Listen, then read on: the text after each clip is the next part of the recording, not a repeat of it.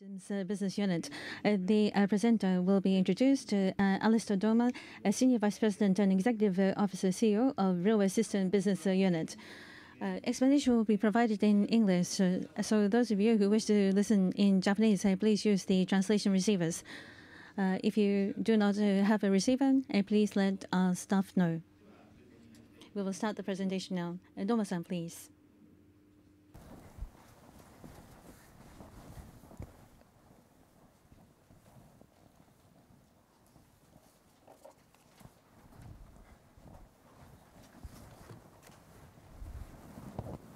Uh, konnichiwa. Uh, good afternoon, everybody. Um, for those of you who don't know me, my name is Alistair Dormer, uh, and I'm the CEO of the Rail Systems Business Unit. I hope you enjoyed the short video that we wanted to show you just before my presentation, because I think it shows how the railway sector touches so many people's lives in all of the products and the services that we deliver for our customers. And, and some of you may have noticed that on that video was actually our Sentosa monorail uh, in Singapore, uh, which maybe maybe the president of the U.S. and the president of North Korea may be riding uh, in next week or so. So maybe we're contributing to world peace. I don't know. But anyway, let's let's start the presentation. So starting looking at the the railway business, where have we come from? Well, we've worked really hard over the last three or four years to create a fully integrated offering of products and services across the whole of the railway sector. Now we enter the period of the digital revolution. We've been working very hard in terms of how do we develop our portfolio of products and services to be smart, to be connected, and to create better value for our customers. So later on in the presentation, I will share with you some of our progress on how we are developing ourselves in terms of technological leadership of the sector by the combination of our fully integrated offering with digital offerings. We're now a very global business. Um, When I joined uh, as CEO of the railway business back in 2014, we have dramatically globalized our business. We've experienced very, very strong growth of nearly 50% compound annual growth rate and experienced tremendous change within our business to transform our business so that the vast majority of our business is now uh, outside Japan, even though our Japanese business remains Uh, constant and stable. We're operating in 27 countries around the world, and we have now 12,000 people uh, working in Hitachi Rail uh, across the globe. So here you can see the growth rate that we have. Um, we're working very hard to continue this. Over the last two years, we've fully integrated the Ansaldo Breda, now Hitachi Rail, uh, operation into our business, and we've integrated our manufacturing and our design capability to create a very powerful and complete lineup of products and services for our customers. Our challenge now is to continue the growth, but also to improve our profitability, and I'll come onto that a little bit later uh, in the presentation about how we are seeking to do that. So let's have a look at our results in 2017. Year-on-year, we've improved on every single one of our uh, parameters. But let me highlight uh, just two areas. From a profitability point of view, we had two non-recurring issues where we had to make a provision, uh, one in Sweden and one in Vietnam. Both of these are subject to um, civil claim actions, so uh, we expect recovery. Uh, so they're really one-off events. Those of you who've seen this presentation before uh, will notice that, or will know that over the last few years, the free cash flow position from the railway sector has been fairly miserable due to the significant contract we had in the United Kingdom, the IEP uh, trains, well, we've managed to transform that situation last year with the delivery of the first trains into service, and that triggered a significant down payment into uh, Hitachi Rail. So we now have a, a very healthy free cash flow position. So I think looking at the achievements and what we've been doing, I mean, firstly, I, I, wanted just to update you on the progress of the Intercity Express program because it is, has been a, a very, very important program for the business. We were honoured in June of last year that Her Majesty the Queen travelled on the train for uh, the first time, which was a, a fantastic publicity event uh, for us as a company. And then the train started operation uh, in October. Uh, in fact, only recently the trains were used to take people from London to the royal wedding. So again, we had people from all across the globe uh, enjoying uh, the Hitachi train experience. In fact, I myself, when I'm in the United Kingdom, I'm using these trains on a daily basis, and the performance is now getting, getting very strong. So a very big achievement. Um, this year, we will deliver uh, the remainder of the Great Western Fleet and complete the first stage of operation. Next year, we move uh, to complete the second stage of the operation, which is the, uh, the East Coast main line, which goes from London up to Scotland. But our maintenance services are now fully activated, and we are delivering the service on a daily basis to our customer uh, in the Great Western region. But obviously, it's not just uh, in the United Kingdom. Um, we have contracts all over the world. So this is just a, a, snapshot of a number of the different projects that we're delivering uh, to our customers on. And let me just highlight a few of these. Um, the Sagami contract here in Japan, we, we started deliveries uh, early this year, which will operate to the southwest uh, of the uh, Tokyo region the ROC contract uh, in Italy, which was a very, very important contract for us to secure manufacturing uh, or capacity into our factories for the coming years, which is a very large framework contract for regional operators in Italy. And the first train is now successfully testing uh, on the test track, so we're, we're bang on program. And another very important uh, contract for us is in Australia in, for Rio Tinto, where we have developed the most advanced train control system for driving autonomously 2.5 kilometer long freight trains from the mine to the port and then back to the mine again. Um, this is a tremendous technological achievement using satellite technology and advanced communication technology and is delivering tremendous benefits for Rio Tinto because we finally achieved the safety certification from the Australian authorities in December last year to start full driverless operation uh, in Australia. So a, a tremendous achievement for, for the team.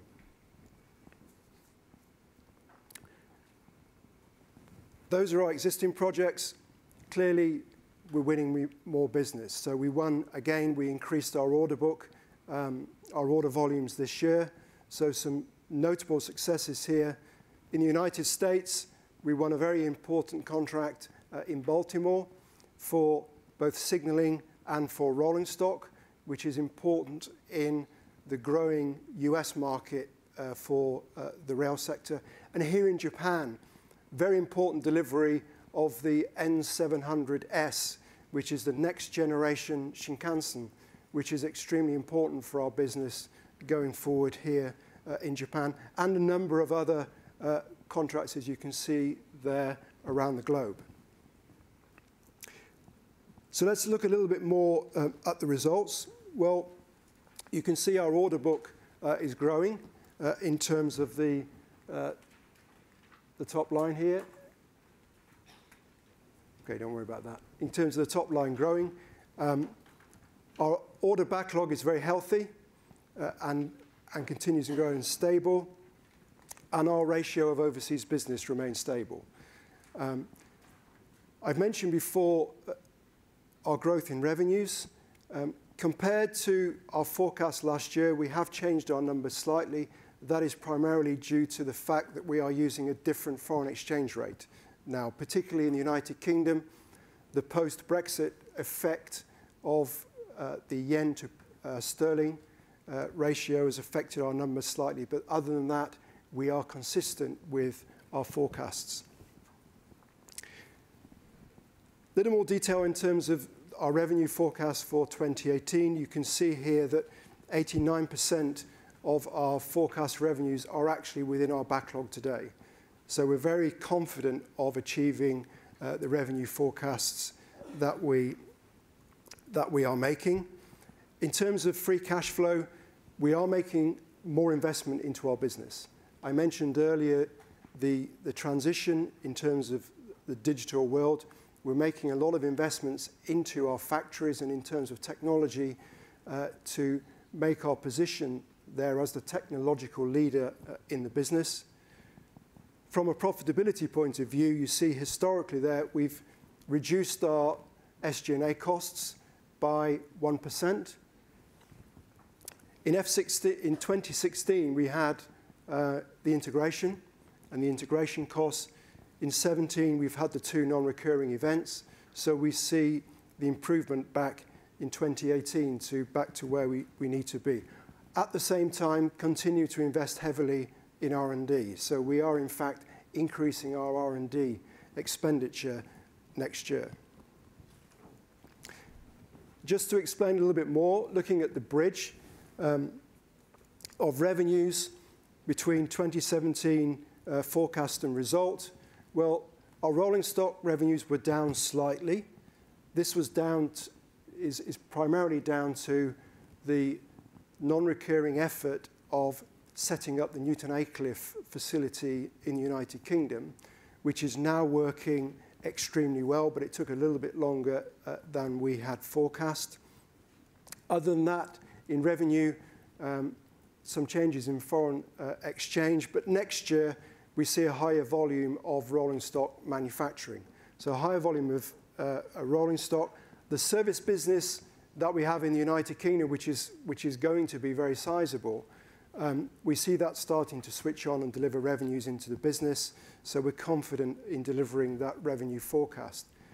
From a profitability point of view, uh, you see here where we've worked hard to improve the margin in rolling stock. Um, we've improved our SG&A, but we had the one-off effect of these uh, two projects, which we've made a provision for in the turnkey element.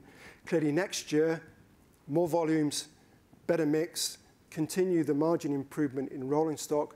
We'll see our margin improve, contribute to the improvement in 2018. We will see the normalization of profitability in our turnkey area. And this is why we're confident of delivering 7% operating profit in 2018. I mentioned earlier cash flow uh, 2016. In fact, 2015 and 2014 were quite miserable from a cash flow uh, point of view. But you see here the effect of the down payment primarily on the Intercity Express project, uh, giving us a very healthy cash position. Next year, we will be investing more into our business, but we have a very healthy cash position uh, in the business. So let's look at growth, look at the overall market. Well, the railway sector is still seeing uh, continued growth. The analysis from UNIFE, which is the trade association uh, in Europe, is predicting 3.2% growth in the market. And the macro indicators have not changed in terms of population growth, Uh, the environment, emission, and urbanization of people is all contributing towards growth in the railway sector. The sector has been quite busy, however, in terms of uh, major moves. So we've seen the proposed combination of two of the big European players. And we've seen uh, further inroads into the global market from Southeast Asian players. So it is a competitive marketplace, which is why we need to continue our development as a technological leader in the sector. And this is how we're going to do it. So we've grown our core offering. We now have a, a full lineup of business products and services for our customers. We are trans transitioning our product mix with an increase in maintenance, which is uh, favorable from a long-term revenue and margin position. Integrate that with IoT and digital so that we have a complete end-to-end solution from the origins of design all the way through to in-service and the feedback loop thereafter. And clearly, to reach the target that Higashihara-san has, has given us around 1 trillion yen, we also need to look at M&A. So we have a clear path uh, looking forward uh, for the business to continue on the very strong foundation we have, the combination with digital, further work in the marketplace to reach the target of being a very strong player uh, in the business.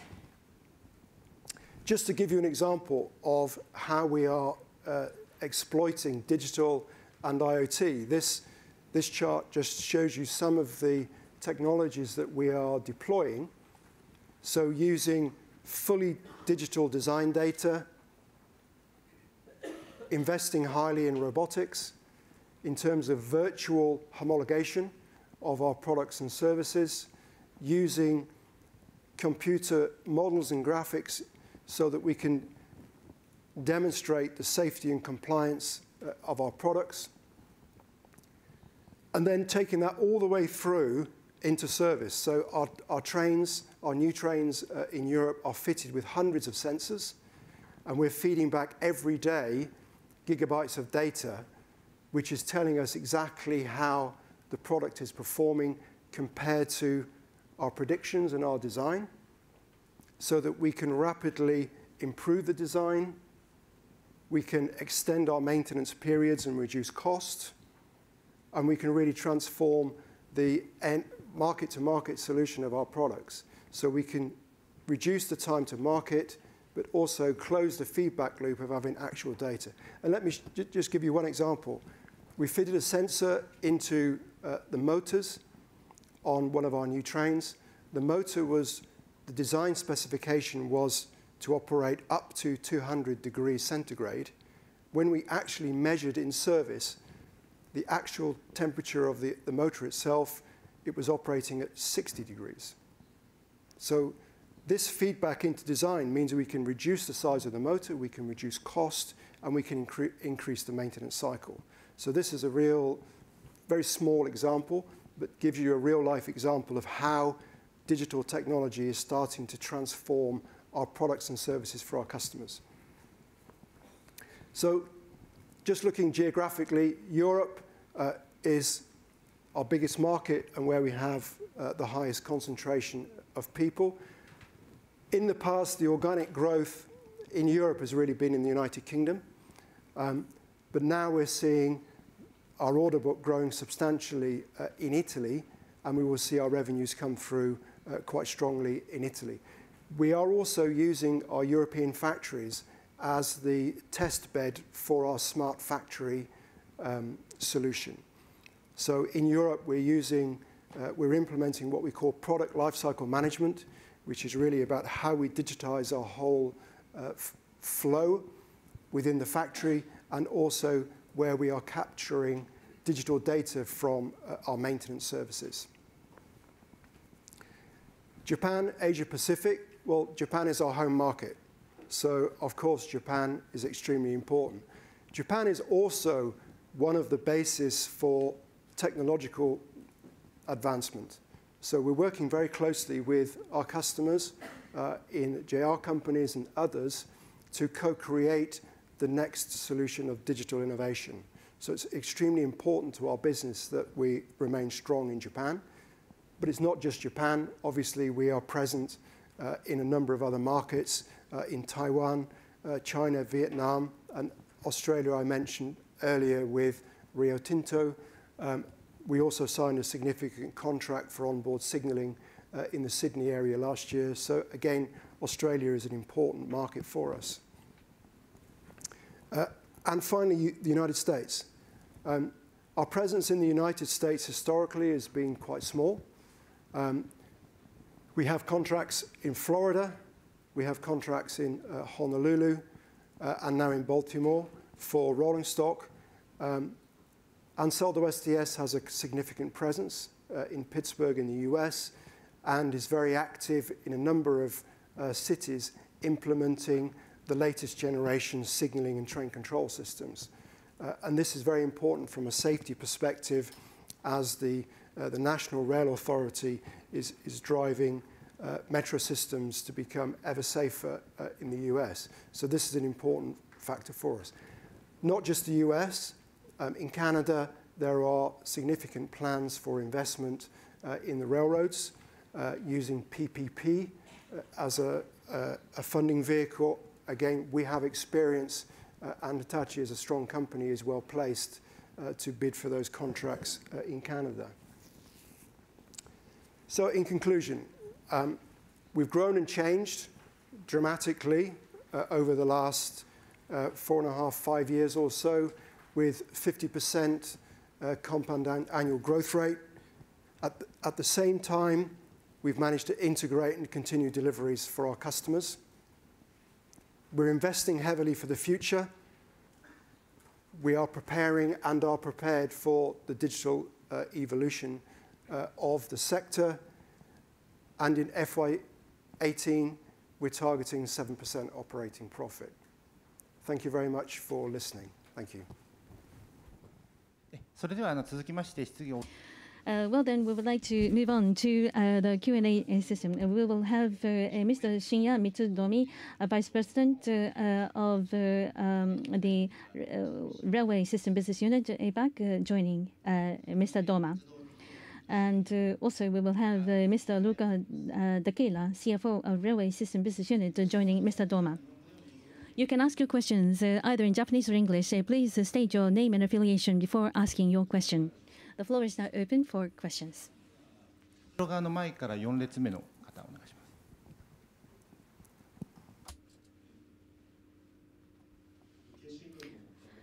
Question. I have two questions. First question is regarding M&A. Uh, you alluded to uh, M&A. Uh, what is the timeframe you are considering M&A? What would be the objective of the M&A? Is it to? Is it because of economies of scale? Is that the reason for further M&A? Please elaborate uh, on your M&A strategy. That's my first question. The second question uh, is uh, regarding revenue ratio of U.K. as well as Europe being very high. But in March of next year, Brexit will be upon us. What is your take on Brexit? Are you going to review your production plan because of Brexit? Thank you very much. Two very important questions. Um, first question regarding uh, M&A, we're looking very widely uh, across the market. Uh, what's important is that we look at opportunities that really add value to our business. As I mentioned before, now we have a full lineup of capability. We have seen in the marketplace some of the competitors buying digital companies to try to uh, enhance their digital offering. Well, within Hitachi, we already have that. Uh, so we are very well connected to Hitachi Vantara, Pentaho, Hitachi Consulting, working together very closely to deliver our digital offering. So I can't tell you which companies, because obviously, I'm sure lots of people would like to know. Um, but we are looking very widely, and I think uh, we will... Our target is to deliver a 1 trillion yen business early in the 2020s. So that is really the timescale uh, to which uh, we are looking. Regarding Brexit, um, some of you may have been here two years ago for the Hitachi IR Day, which was actually the day before the Brexit vote. And I was asked the question on Brexit, and my answer was: "I'm not worried because it won't happen." So I'm not very good at uh, predictions on Brexit, but then again, a lot of people in the U.K. were the same as me. what can I say on Brexit? I think the reality is we still don't know uh, what the impact uh, of Brexit will be. Um, Hitachi, as well as a number of major Japanese companies, have made representations directly to the Prime Minister in the UK to say that it is extremely important for Japanese investors that we have tariff free access between the United Kingdom and Europe. Um, and I think she's listening. So we will see. Um, does it affect our factory in, in the United Kingdom? Well, no, uh, I don't think so. Um, there are a number of opportunities that we are bidding for uh, in the UK, including London Tube, including High Speed 2, and a number of other uh, operators are looking to buy rolling stock.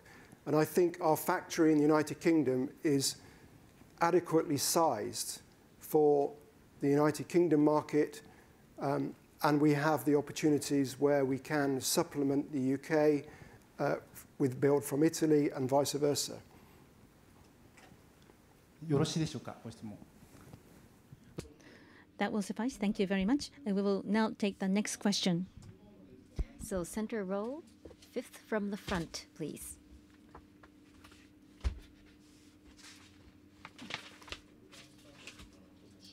Question. I have two questions. First is on it Italy plant, Italian factory. I heard that, that there will be smart it will be smart factory in Italy, but before the acquisition, when it was Ansaldo Breda, I think the factory's productivity was low. Now, how much has it improved? Could you give me the updated information? It's no, uh, it's no secret that before the acquisition, Ansaldo Breda made some significant losses. Um, that was due to two reasons. One was they had a number of projects that were uh, particularly loss-making, which we excluded from the transaction. Secondly, there was really a lack of volume uh, in, the, in the factories in Italy. What we have done uh, over the last three years is really transform the manufacturing process to improve the volume, but also dramatically improve the efficiency uh, in the factories in Italy. So now the, the productivity in our main factories in Italy is comparable to Kasado uh, in Japan, which I think is a, is a great achievement. The application of digital technology, I think, will take it further ahead. Um, so I'm very, very pleased with, uh, with the performance um, in Italy so far. Um, and I think there's a lot more to come uh, from what we've got, got there. We, are, we have made significant investments. Uh, we have invested heavily in robotics in terms of robot welding. Um, so the quality, again, is exactly what we would expect from our Japanese factories. Thank you very much. My second question is, so you have a target of 1 trillion yen and M&A. Now, please correct me if I'm wrong. In the presentation up to last year, it seems that uh, you said you don't need too much M&A, you can grow organically. That was the nuance I felt in the presentation up to last year. But this time it seems like you focused a little more on M&A, stressed M&A. So if you do not do M&A, if we think of organic growth, do you think you can still achieve 1 trillion yen or will it be 600 billion, not much growth, just organically. Could you update and give us your input? I think uh, I think last year I did mention M&A actually um, as part of that 1 trillion yen uh, target. Uh, organically, yes, we can reach 1 trillion yen organically, but I think it will take beyond the timescales of the early 2020s. So uh, as you know, Higashihara-san is a very uh, ambitious guy. Uh, he's very keen and pushes me very hard uh, to continue to improve the business.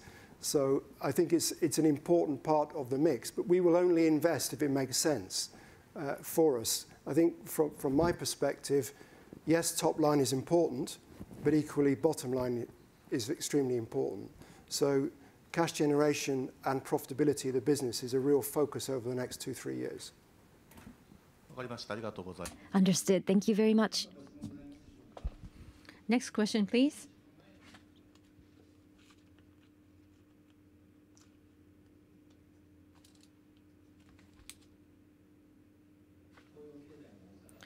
Question. I have two questions. The first question is regarding Europe. Uh, with Siemens and Alstom uh, are going to be integrated, you will have the emergence of a uh, formidable uh, rival. Will this have a change uh, in your strategy going forward? How are you going to review your strategy upon this event?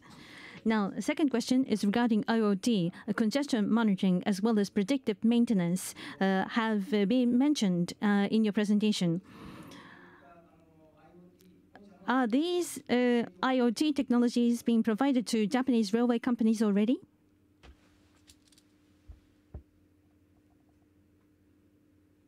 Okay. Um, let me just answer the second question first.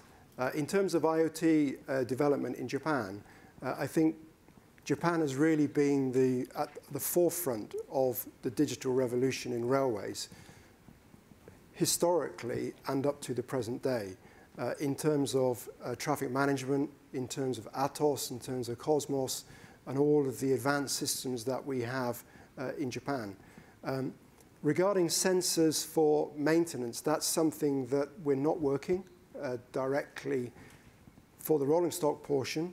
Uh, we're working very much on the infrastructure portion, which will provide information to our customers as to the, the operation uh, of their, uh, their lines.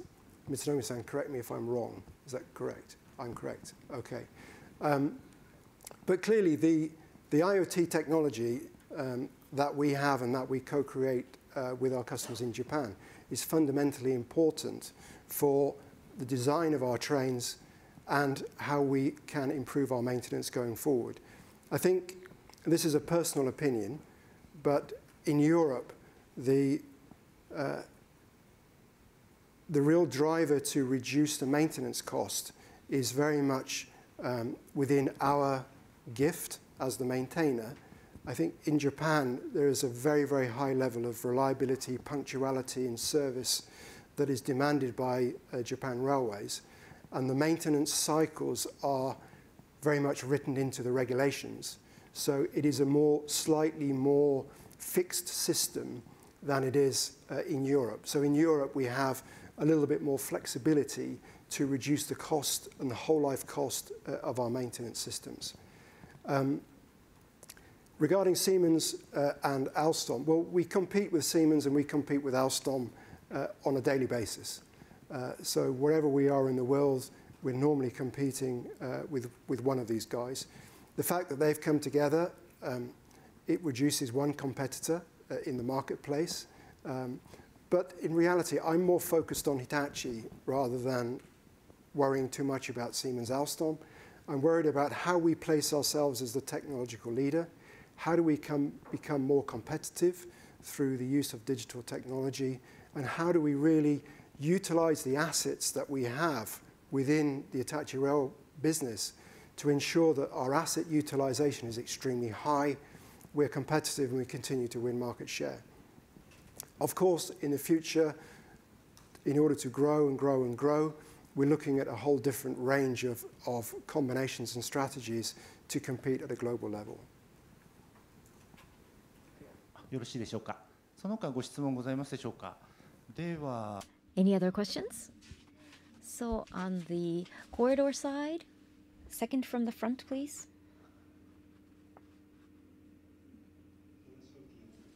Question. I have two questions. First, top line will grow to 1 trillion yen, and profitability and cash flow will also be your focus, as you mentioned. Now, how will you um, see the balance? What is your priority? If you could elaborate on the balance and the priority. Uh, this year's forecast the company uh, has 8% margin, but uh, yours is 7%, and in the medium-term plan, it's 10%. Higashihara-san has set a high hurdle again, so that's the company-wide target, 10%.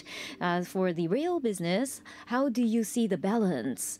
Could you elaborate, please? And my second question is, this is not necessarily on rail, I'm sorry, but as Hitachi management, the diversification, as you diversify your management, as your experience as a foreign national, what kind of challenge have you gone through and what kind of outcome uh, have you enjoyed? And so, as you see more foreign nationals, what kind of advice could you give to others? Okay.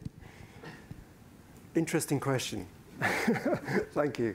Um, the, the, regarding the first question, um, you know, we're working on our next three-year plan. Uh, so we are focused on improving our profitability.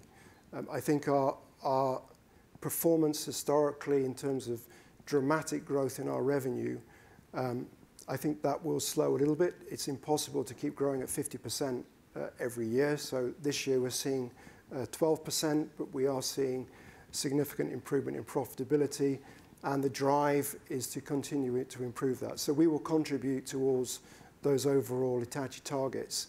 Uh, I'm, I'm confident of that because we have a very strong uh, and good business. Um, diversification uh, uh and um, my experience in Hitachi, very interesting question. Somebody said to me the other day, um, did I realize that within the senior management team of Hitachi Rail, we actually have uh, three British, three Italian, and three Japanese. That's actually not by design. that, that's, that's just the, the capability of the people we have, and therefore we have a very diverse team. Uh, and as you know, uh, Karen Boswell is the managing director of Hitachi Rail Europe uh, as a lady, and we're working very hard to increase the diversity of um, gender balance uh, within uh, Rail. Um, I've been working now for Hitachi for 15 years. Um, so I kind of don't feel British and I don't feel Japanese. I, I feel very Japanese. I feel very international.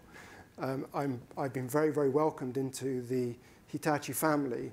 And I think over time, Hitachi will continue to diversify.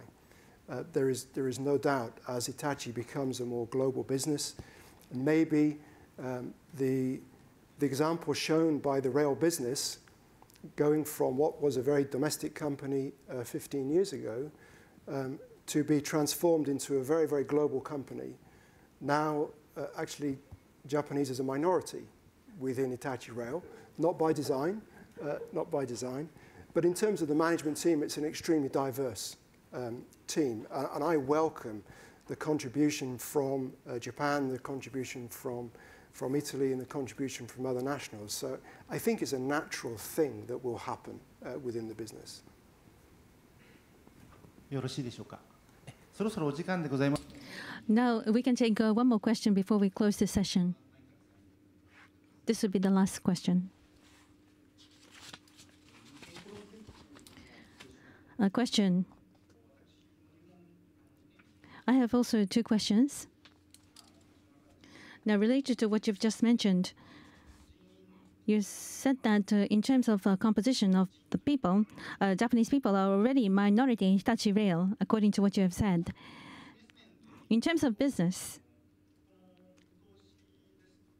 uh, looking at this outlook and forecast, it seems that uh, uh, dom Japanese domestic market top line growth is very gradual, and the ratio is 17%, stable going forward, is the outlook for Japan.